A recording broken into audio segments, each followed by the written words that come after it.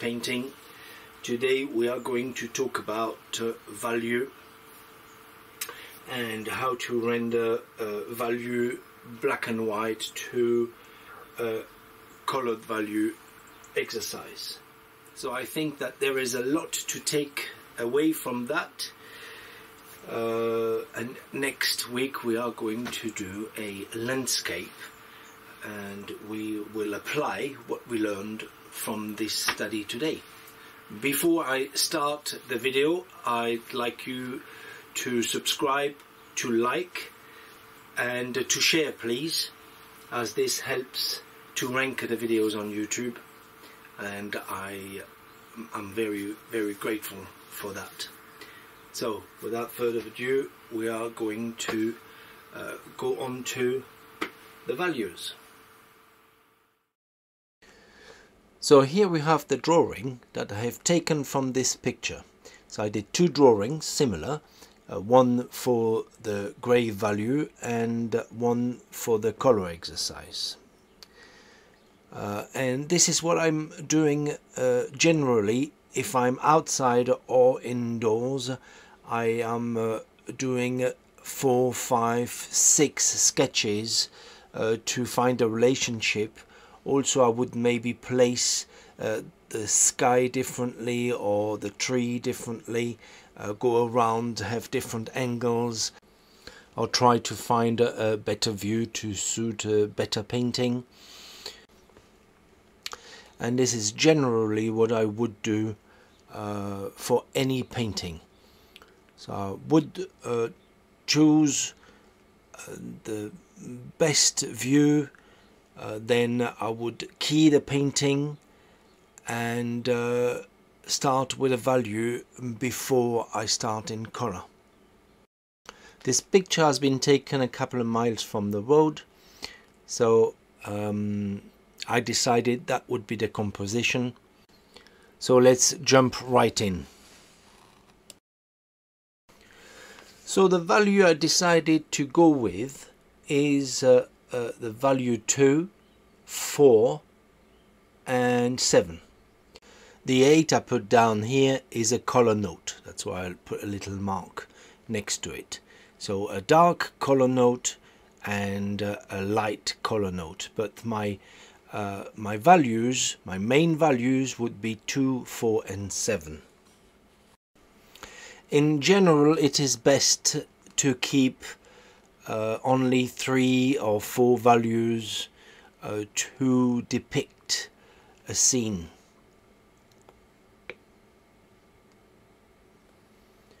So my sky to start with is of value 2 and I have got some marker pens as you can see there.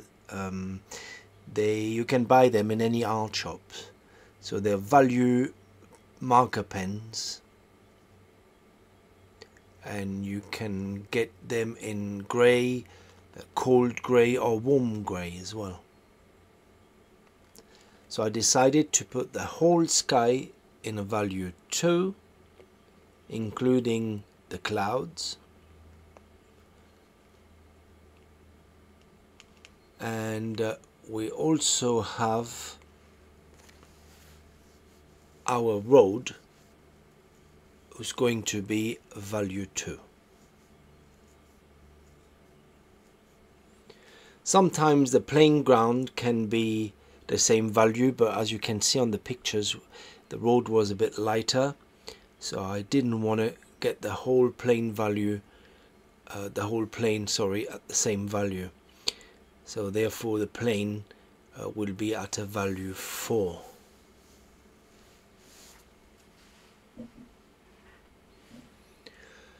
but here we already have a color harmony or a value harmony I should say between the sky and the plane.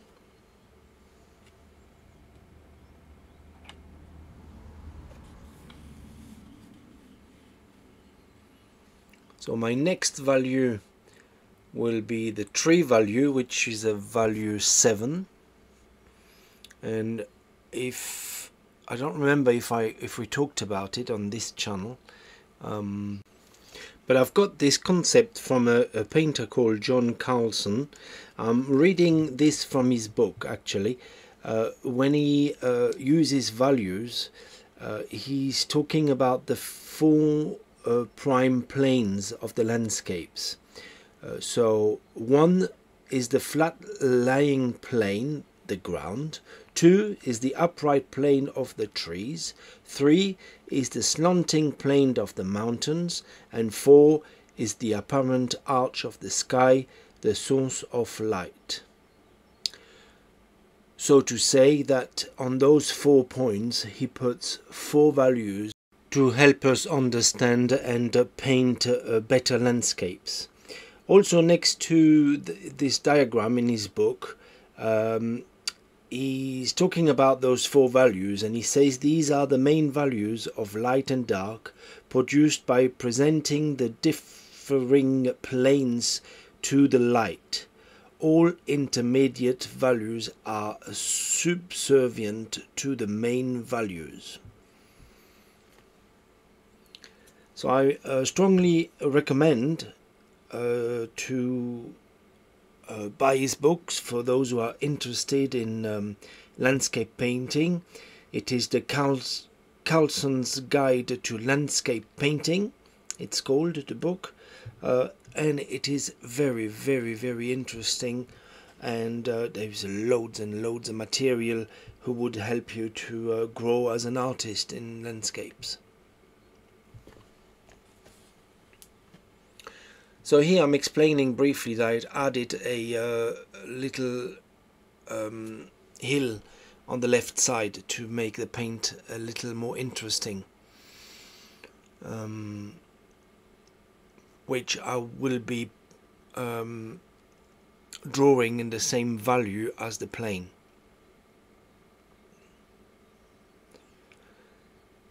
So what will differentiate the um, values or sub-values is what we just read uh, from his book um, that all other values as are subservient to the main values.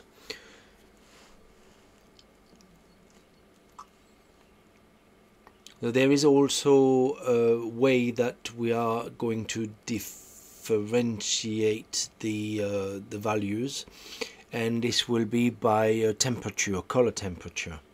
So although the plane and uh, the um, hill are the same value we will uh, separate them with a different color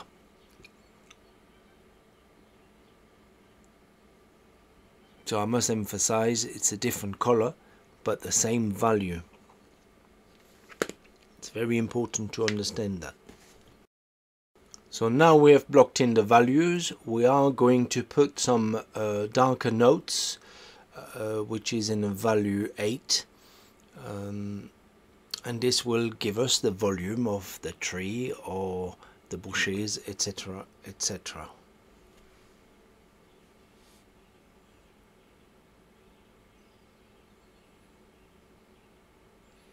keep those for the end. And we can also put some lighter notes. And these are going in when we are going to start uh, uh, to put down the color in the picture below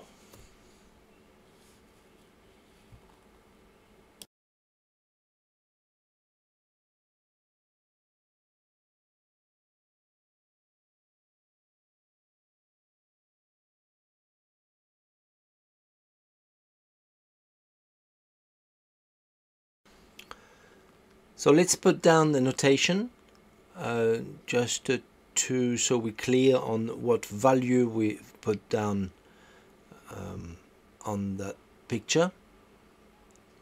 So for the sky we used value 2 and for the road value 7 for the tree. Value uh, 7 for the bushes. And a value 4 for uh, the playing ground and uh, um, the hill in the back.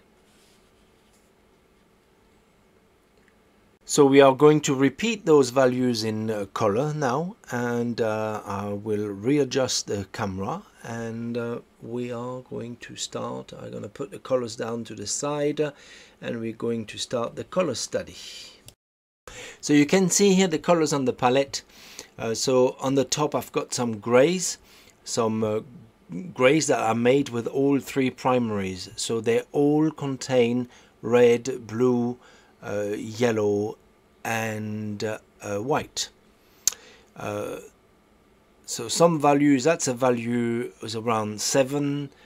The middle value is a bit pinkish, is around 4. And the bluer value is a value uh, 2.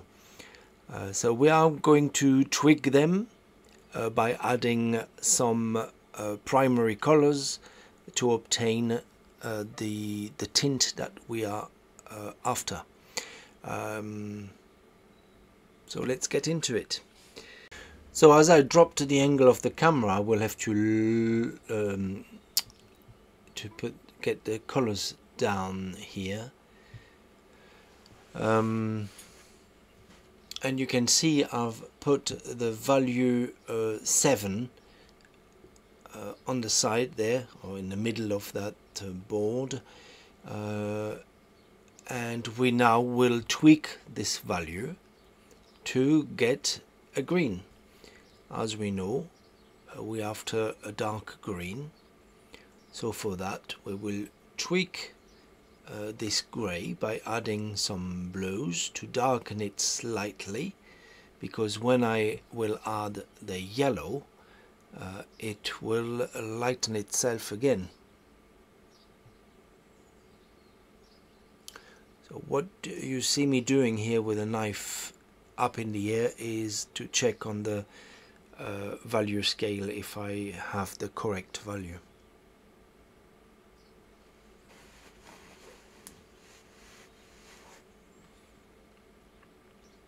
So as you see, for now we are far from uh, green, but uh, with just a little tweaking, as these greys contain all three primaries we quickly will get uh, the right green at the right value. See checking again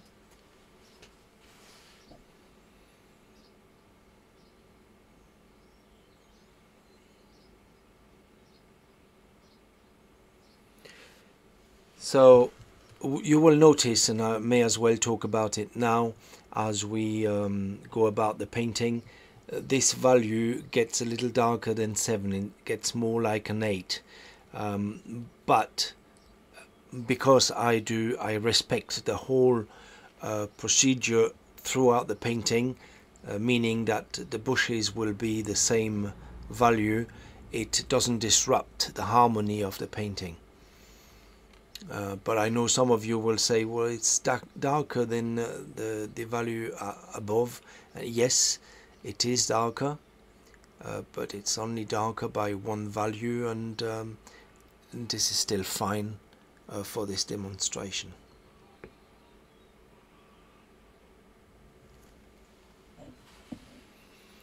So as the tree is my focal point, I always, or not always, but often start with my focal point first. Also, I didn't mention what you see me here is dipping in a little bit of a medium, and just to give uh, a little more fluidity to the painting, or to the paint, I should say.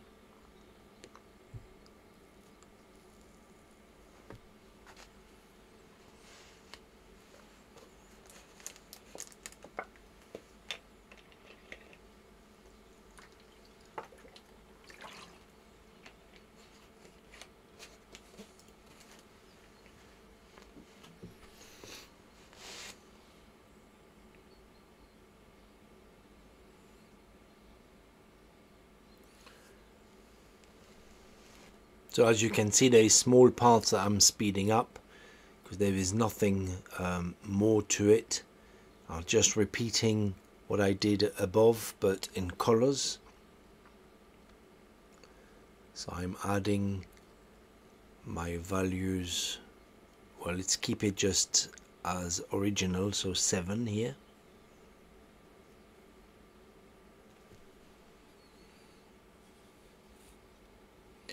and now we will go about uh, the ground the plane and I will take this um, grade color that I've got up there. Again I will tweak it so I can get a green. Uh, I will put the picture up very briefly here so you can see that I've got some green and some yellow so with this same value I will make green and a yellow that I will use in the ground plane. Uh, that's what we said earlier. Uh, we stay in the same value but we are uh, playing with uh, color with the tint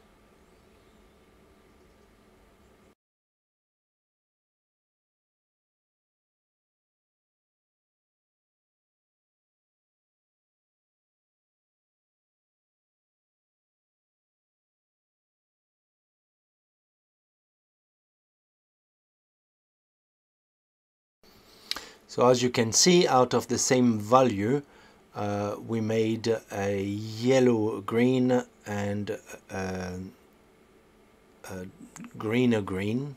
Let's put it this way. Uh, but we stay in the same value. So if you squint down they're in the middle of both uh, you cannot make up out one or the other color and therefore uh, you know you are in the same value.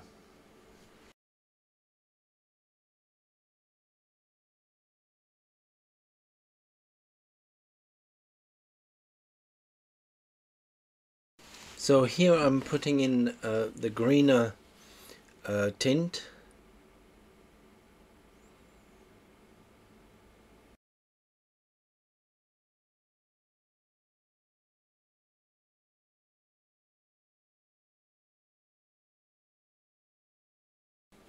and there we're putting the yellower bit of uh, this uh, tint and same value.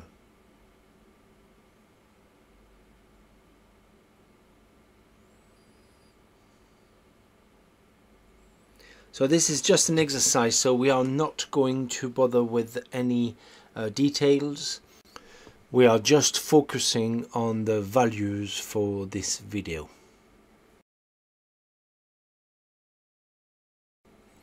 So now I'm going to mix uh, the hillside and we are keeping the same value but just changing uh, the temperature. And the hue as we want it bluer.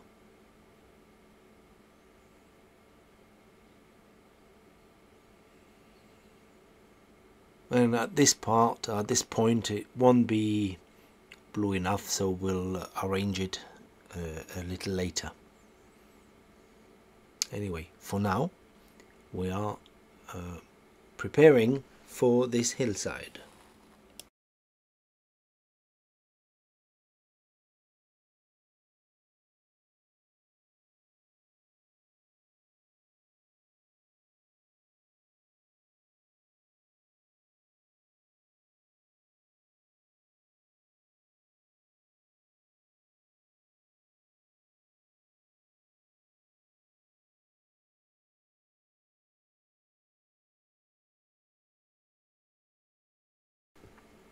So now it's time to get in the sky.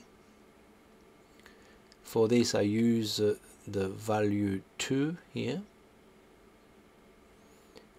And again I'm going to tweak it. I think I'm just lightening it a little bit with white. Yes. Just to get that value 2.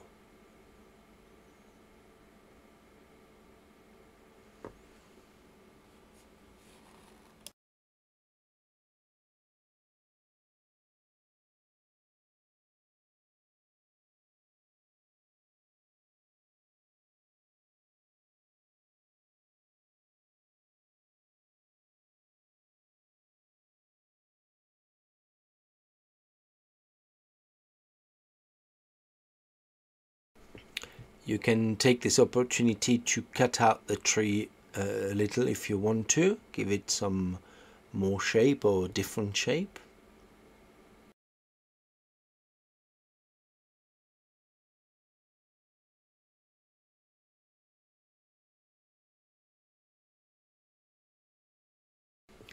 So now we are going to put in the road. So I put this a little bit of that uh, value uh, 7 and value 2 in to my sky. As I want to keep the same value if you remember the road is supposed to be the same value as the sky. So once I'm happy with the, um, my color I will uh, put it in the picture. I'll decide here to darken it slightly very slightly just to have a difference. So there is not even half a tone difference here in value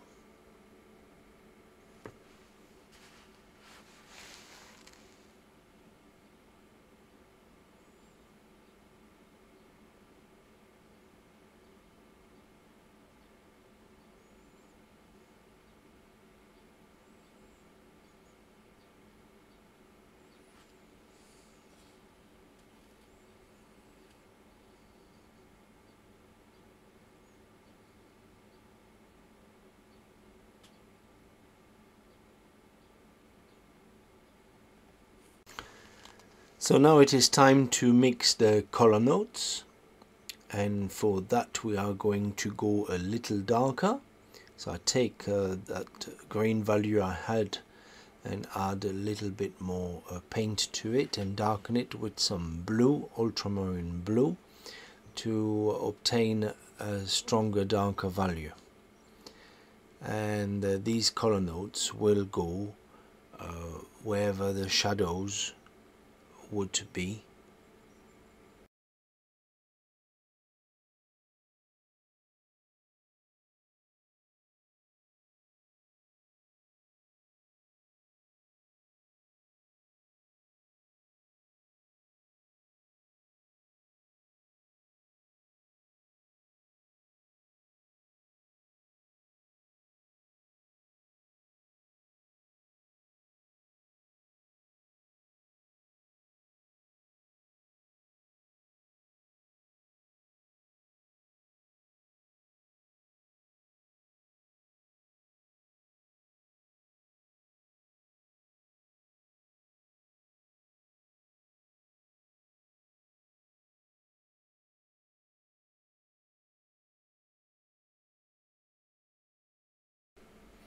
so I must apologize because of the lighting I've got here. We can't see those darker notes uh, very well. We can see them but not uh, very well. So I'll uh, change the camera angle later on and you will see it a little better. So now uh, I'm doing lighter light just a note uh, for the lid side of the of the tree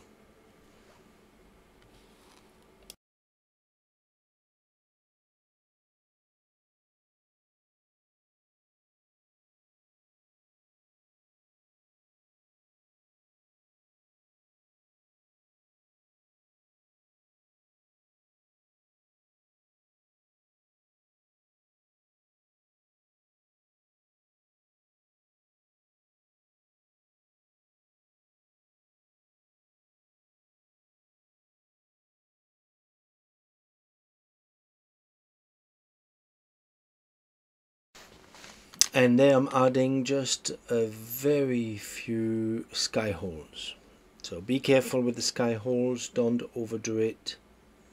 Some here and there will just do the trick.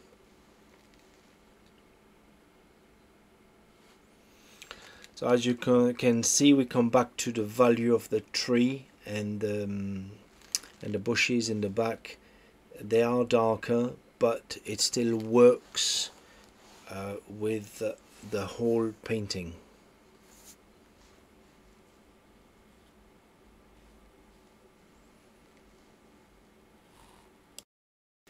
So it's time to mix the cloud. Uh, so I want to do a, a little grey, uh, a warm grey that I will put on the left side of the, um, the picture.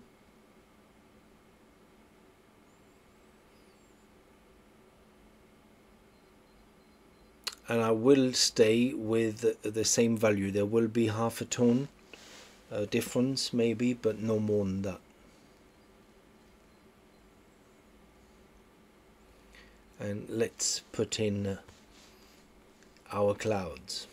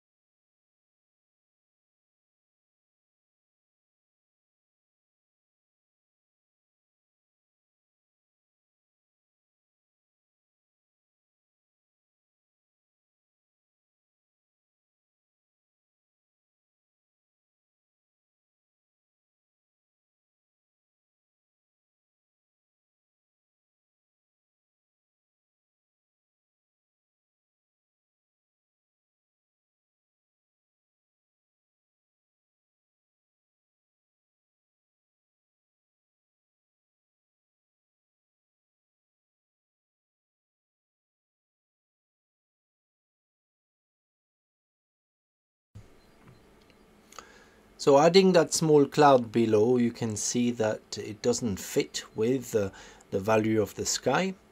So I'll uh, spend a bit of time um, lightening it uh, to fit in the picture. So once your values are set, you will and, and you make a mistake, um, a value mistake, you will see it straight away. It will stick out like a, a, a sore thumb. Uh, and you will be able to rectify your mistakes straight away. This is why it is important to uh, stick with uh, correct values all along the painting. I'm also going to cool down, as, as I said earlier, uh, the, uh, the hill side. I'm going to make it bluer. Try to keep the same value but make it a little bluer and you'll see that it will uh, travel back in distance straight away. Just by cooling down uh, this hill will uh, set it back.